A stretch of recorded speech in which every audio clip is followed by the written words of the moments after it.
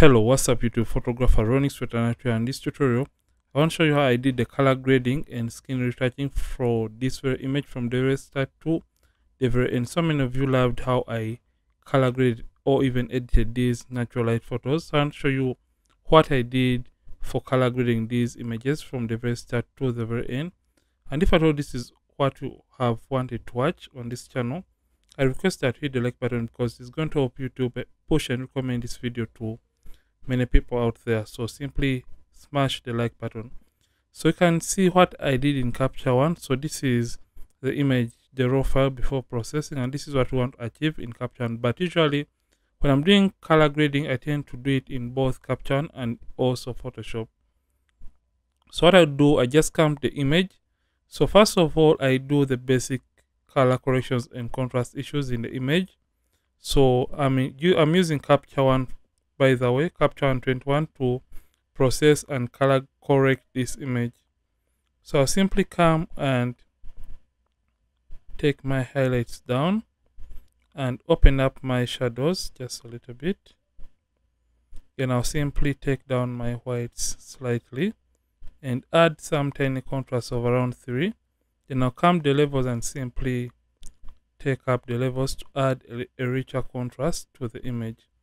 So after doing the basic issues, I'll simply come, create a new filled adjustment layer by right click on this plus icon. And I'm going to create a filled adjustment layer on which the color grading is going to be placed.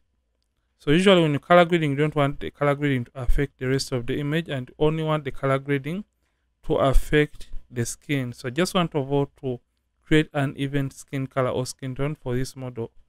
So I'll scroll down to where it says color editor right here and simply come to skin tone and simply right, left click to get my color picker tool.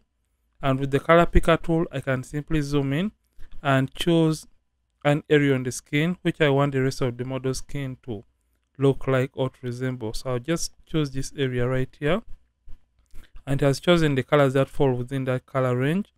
So I'll simply come to uniformity and simply take up the uniformity slider for both the saturation and the hues until when I feel like the skin is looking more on the uniform side. So you can see the skin is having a little bit of that green tint added to it. So in this case, we have where it says amount. And under the amount slider, you can either add magentas to the skin tone or you can as well add more greens to the skin tone. So since I want to eliminate the green color within the skin tone, I'll simply take down the hues towards uh, the magenta or the reds to eliminate that kind of color that was existing within the skin of the model. So after you have done this, we are simply going to clear this layer mask by simply right clicking here and simply coming to clear mask and it's going to clear the color grading from the skin or from the overall image. So simply want to mask or paint the color grading on only a skin. So how to do that is simply come and get the brush tool. And after getting the brush tool, you can use the open and close brackets on the keyboard to reduce or increase on the size of the brush. And simply press M. M is for the mask and that is going to show me where I'm going to be painting so that I don't paint extras. So I'm just going to paint and every area you're painting in is going to be having this kind of red mask meaning the color grading that we initially cleared from the image is going to be appearing on or beneath where we paint. I hope you understand what i'm trying to mean. So I just come and paint on only uh, the skin just like that. And i'll just come this other side and only paint only on the skin of the model just like this. So i'm just doing a rough job but you can always take your time while masking out. So right now i have painted on the skin area so simply press m to clear the color grading or to hide the mask from affecting the overall image. So i'll simply come and add some contrast to the skin by taking up the contrast slider and simply open up my shadows slightly and that is going to brighten up the skin a little bit. So after i did this the next thing you can see these two images are looking identical so what i'm going to do after color grading this i'll take the image to photoshop by simply coming to image coming down to edit with and photoshop 2020 and simply come to edit variants. So I'm going to open the image into Photoshop and first of all do a skin retouching and lastly do the final color grading and basic adjustments on this image. So I just want to show you how I usually make the image pop and stand out and the final details that I usually add to a photo while I am editing it to make it look a little bit different. So right now the image is now open into Photoshop. So I'm just going to be using frequency separation to edit this image and I'm just I'm going to be using rather my actions to fasten or speed up my retouching process. And those interested in my actions, you can simply check the links in the description of this video to purchase or buy these actions that are going to help you fasten or speed up your retouching process. So first things first, I crop the image in a ratio of 4 to 5 because the image is for posting on Instagram. And after cropping, I'll simply come to actions and simply come and select 16-bit and simply play my 16-bit action. So in this way, I have to determine the amount of skin textures that I want to remain with in uh, my image after editing. So zoom in and look for the textures that seem to be prominent and simply take up the radius up to when those textures are just starting to disappear. So 6 is okay. Press OK and action is going to continue playing. So after it is done playing, the next thing I'm going to do, I'm just going to come and get the mixer brush tool. And first of all, I don't tend to use the black and white layer. I hide the high frequency layer and simply select the low frequency layer. So I'll simply right click under the brushes and get the mixer brush tool. With these settings right here, make sure hardness is set all the way to zero. Clean brush is selected. Clean brush after each and every stroke is also selected. The weight is 9, load 75, mix 90, flow 100%. And this option is 10%. And measure sample all layers is not checked. And after this, I'm just going to simply smoothen or even the skin tones by simply left clicking and dragging just like that so that I can create a smooth transition between the skin color or skin tones for this model skin. So I'm just going to be painting just like that and you can see this is going to be or make the image look better. So I, I think I'll just forward this so that the tutorial is not a long one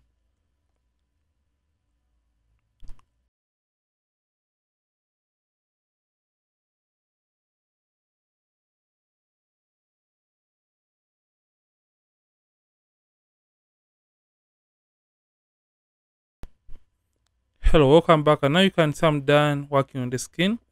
And you can see the before and after for the skin retouching. And i've just used the mixer brush tool. So after using the mixer brush tool i'm simply going to come and incorporate the lasso tool technique by simply selecting the lasso tool with new selection mode active. The feather is 22 pixels and i'm just going to come select on the skin area so that i can refine or fine tune the areas i may have missed out while i was using the mixer brush tool. So come to filter come back to blur come to Gaussian blur right here. With the radius of 6 I'll simply multiply 6 by 3 and type in 18 so for your radius you just multiply that radius by 3 and type in that value. So I'm just going to do this on the face of the model. Right click and come to Gaussian blur so this is for fine tuning the areas that I may have missed out when I was using the mixer brush tool to blend the transitions within the skin tones of the model. So I think I'm done using this technique and the image looks okay. So I just come and get to the high frequency layer and get the clone stamp tool. Make sure the hardness is set to zero and align the selected sample is current layer. The mode and opacity say left at default. The mode is normal opacity at 100%, the flow at 100%. And I'll simply zoom in and simply alternate and copy and paste.